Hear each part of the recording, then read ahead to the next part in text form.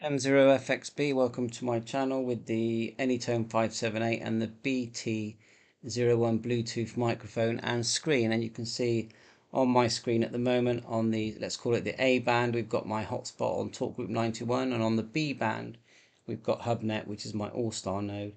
And if you look at the top of the microphone you can see we've got Digimode enabled low power we can see that we're on color code 1 there's a little volume tab there and even a little bluetooth logo uh, and the battery charge. So it's all there all the information that you would expect to see on the normal radio and it's very similar to the 878 what's the difference? Well it's not a radio it's a bluetooth microphone.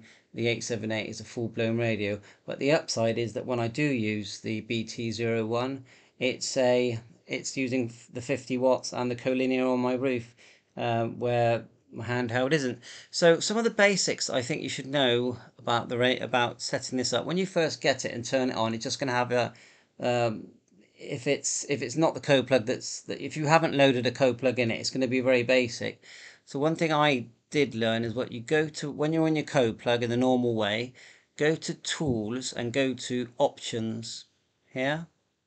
And in this section here, I mean I always like to have GPS, Bluetooth, and APRS enabled. In the 578, the newest model, which is the 500,000 contacts with our APRS receive, you would tick this one as well, analog APRS receive. Then we've got AM, and then this is the new one, really, the Bluetooth headset. That's the new one because once you've done that, click OK, and obviously you have to send this to your radio, which then in turn sends it to the BT01.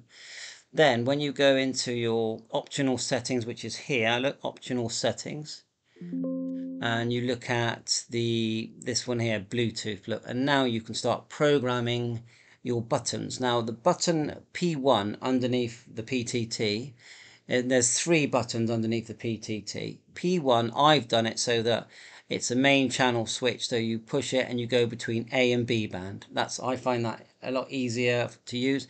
And then let's just say you go to A or B band and you've got activity um, well you want to know that you can you can stay on that. So if we go to the long press of number one, so long press key, this is P1 underneath the PTT again.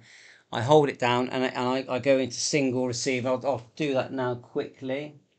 Um, and it will just say sub channel off. And now I can flick between A and B. Like so. And and we can just talk and listen to the you know the station that we can see on the screen. It's a lot easier. Volume wise you just push the button in the middle like so. You get volume push it again you get channel. Now you can set it in the code plug to just do volume but that's what you do. And then the button right and left is volume and you do get a slider.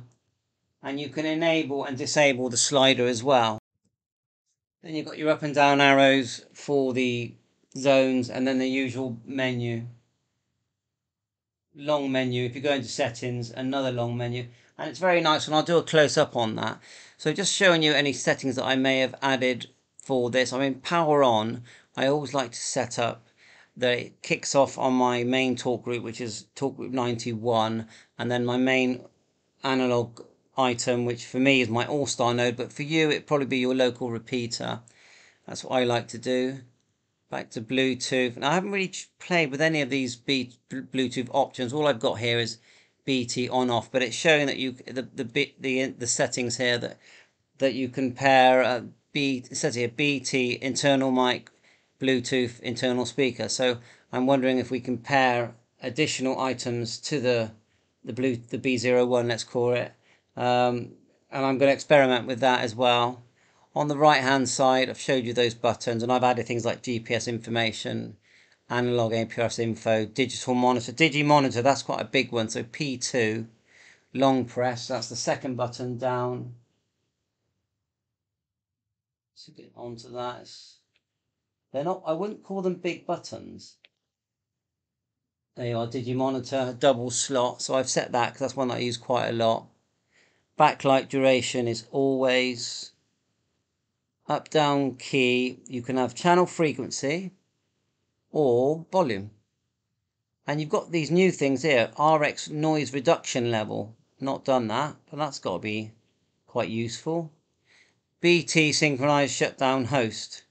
So I'm guessing that if we turn that on, yeah, and I'll save that setting for when I do send it to the radio. Save it to my 578 folder, like so. Just leave it for now. That when we turn off the Bluetooth, it will turn off the radio at the same time. So we'll do that live now, see if that actually works. Actually, we'll have to send it to the radio, so I'll, I'll, do that just so you can see what happens, and then we'll end the video. So write to radio, click OK. We've done the digital contacts in the normal way.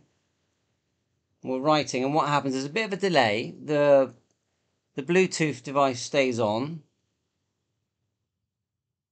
external mode it's still saying external mode at the moment we are writing to the radio. USB's in the radio it's like a micro USB click OK.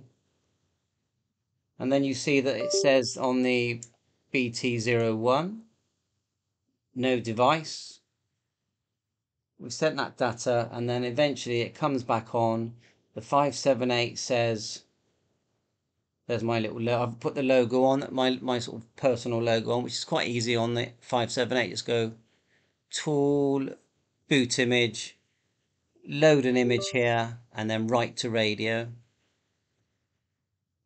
So sometimes it doesn't work straight away, connecting the 01. If it doesn't, just turn it on and off. But look, it's come on. I'm just going to turn it off, hold the off button down, and see if it turns off the radio. Yeah, and it has. It's turned off the radio. So we'll end it there. Lots more to learn about this BT01, but to me it seems a very good, very good device. Looks like lots of fun, and uh, yeah, worth what it costs. Bye for now. Seven three. All the best.